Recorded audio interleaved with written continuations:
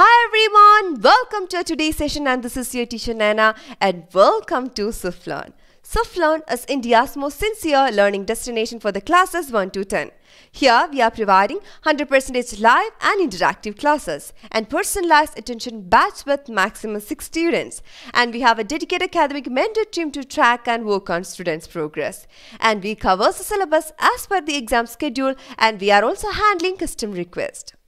So these are our key features such as detailed progress report, detailed progress report, Swiflearn academic test series and you can take unlimited practice tests from Swiflearn. And we have the subjective test for school exams as well. So why are you waiting? Let's book your free trial class today itself and get ready to enjoy the art of learning with Swiflearn. And if you are new to this channel, please remember to subscribe and hit the bell icon so you will never miss any important updates from Swiflearn. And today we are going to explore about the skeletal system part 2. And these are the learning objectives of today's session. The skeletal system, major bones and their functions, importance of bones, importance of joints, muscles, care of bones, muscles and joints. So these are the things which we will learn within this chapter. Alright. So in this previous class, we learned about the skeletal system, skull, limbs, backbone, rib cage and jawbone. So in this class, let's learn about joints. Look at the door. You can see that it's moving back and forth. And how is this possible? This is possible because of the hinge joint. So the hinge joint makes back and forth movement possible, right? Yes. Just like this, in our human body, we have a lot of joints. That's why you are able to walk, run, move your hands, rotate your necks and move your hips. Everything is possible. All this because of the joints. Alright. So what is the joint? That is a relevant question. So joint is the place where two or more jo bones join together. And joint is the place where two or more bones join together. Yes, all right. But how are they held together? They need something, right? And that is known as the ligaments. Ligaments are the strong tissues, right? Which will help them to hold together. They are held together by the strong tissue which is known as ligaments. Look at this one. The ligaments are over there and which helps for the strong connection.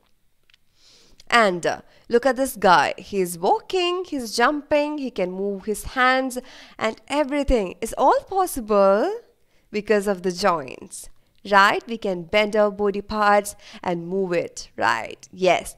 And the types of joints can be divided into two categories such as movable joints and immovable joints. So these are the two categories of the joints, movable and also immovable. So can you name any movable joint? And that is your? Yes, all right. Movable joints are ball and socket joint, right? And pivotal joint, hinge joint, gliding joint. All these joints can be moved. They can move. Hinge joint allows back and forth movement in one direction only, just like the door. Shoulder is the bendiest joint in the human body.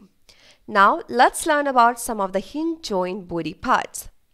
Ball and socket joint. Ball like end of the bone fits into a cup like socket of the other. You can see that it's like a ball and this one looks like a socket and they fits together right that is why which is known as ball and socket joint so can you give me some examples for the ball and socket joint can you yes so ball and socket joint like shoulder and hip joints, which allows the movement in all one direction.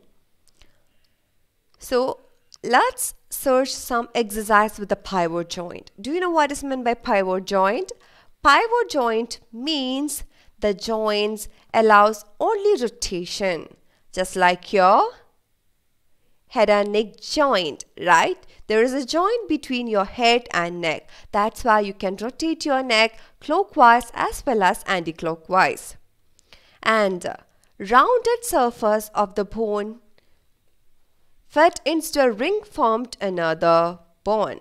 So, rounded surface of one bone fits into a ring formed by another bone. That is known as the pivot joint. So, the example is joint between head and neck. So, gliding joint. So, bone which glide over each other.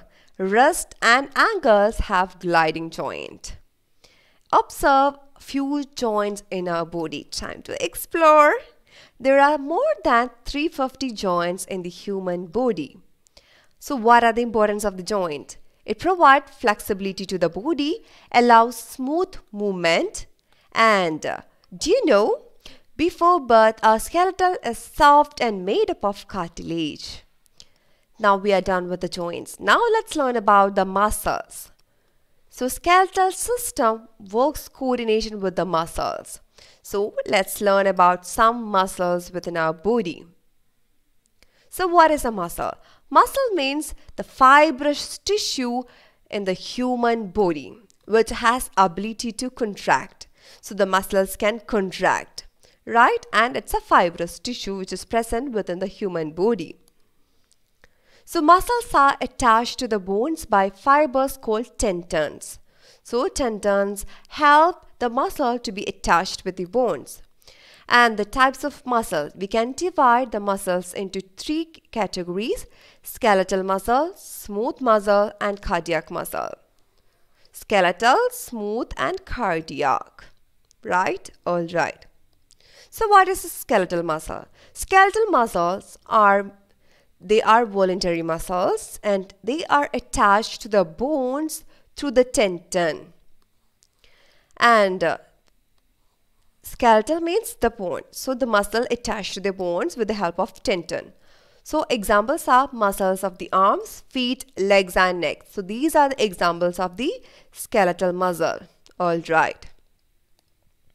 Smooth muscle. Small muscles are involuntary muscles present in internal organs such as muscles of the stomach, urinary bladder and intestine. These are the examples of the smooth muscles. It is involuntary muscles. Alright, now let's learn about the cardiac muscles. So, just like the name refers, cardiac means heart. So, the muscles are related to the heart. So, these are involuntary muscles as well. And muscles which makes up the heart specialized to perform continuous movement for pumping. So, while pumping, a heart will contract, right? So, the muscles help for the blood pumping. Now, let's study the importance of the muscles. Control bones movement, provide movement to the internal organs such as pumping of heart by cardiac muscles muscles regulate body heat. So these are the main importance of the muscles. Should we care of bones, joints or muscles? What do you think? Of course. So we can take care of joints, bones and muscles through a balanced diet and good posture and exercise. Balanced diet means we have to include the protein, vitamins and minerals which is required for the body functioning, right? Yes. And these are the nutrients we require for the healthy skeletal system. Protein, vitamin D and calcium. And we can find all these nutrients within various food products. And the calcium. Calcium increase strength of the bones and keep muscles active, helps in muscle contraction and we can find the calcium within the cheese, almond, milk, leafy vegetables and curd are good source of calcium. So let's eat more leafy vegetables and cheese and milk and we can increase the calcium. So vitamin D. Vitamin D helps the body to absorb calcium of the food. So we need vitamin D. So sun is the greatest source of vitamin D. Apart from that, we can find the vitamin D in the liver oil, caviar, mackerel, salmon, sardines, tuna, mushrooms, raw milks, and eggs. So let's eat all those fishes and uh, let's uh, walk under the sunlight. Let's get enough sunlight so we can avoid vitamin D deficiency. So protein. Protein is a building block of muscles. Protein is required in the growth of repairing muscles. So major source, cheese, egg, pulses, fish and meat. So let's consume all those things and avoid protein deficiency. So the posture, position of our body when we stand, sit or lay is the posture. In a good posture, we keep our back straight, puts less pressure on the backbone, which is very essential. Otherwise, we will have cramps and pains with the muscles. Look at this one. We can see good posture and bad posture as well. Is it a good posture? Definitely not. It's not. Is it a good posture? Yes, it's a good posture. Look at this one. Is it a good posture? Definitely not. And is this a good posture? Of course it is, right? Yes. So try not to put a lot of pressure but while bending back because which will lead to the muscle pain and back pain which is not good. And physical activity is also very important for a strong bones, muscles, and joints. You can do cycling, swimming, walking, and all those things, and all the cardio activities which will improve our flexibility. And uh, the skeletal system.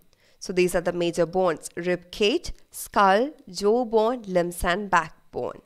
And major muscles skeletal muscle, smooth muscle, and cardiac muscles. And what are the important joints? Hinge joint, pivot joint, ball and socket joint, and gliding joint. And how we can take care of our muscles and joint? Through proper diet and posture. So all right everyone, we learned all these things today within this chapter. The skeletal system, bones, joint, muscles, care of bones, joints and muscles. So thank you everyone for coming today. I hope you enjoyed the session. If you have any doubts, please comment below or revise this chapter one more time. Alright, if you like this channel, please subscribe, press the bell icon and you will miss you will not miss any important updates from us. Thank you everyone for supporting us. Take care, be safe at home.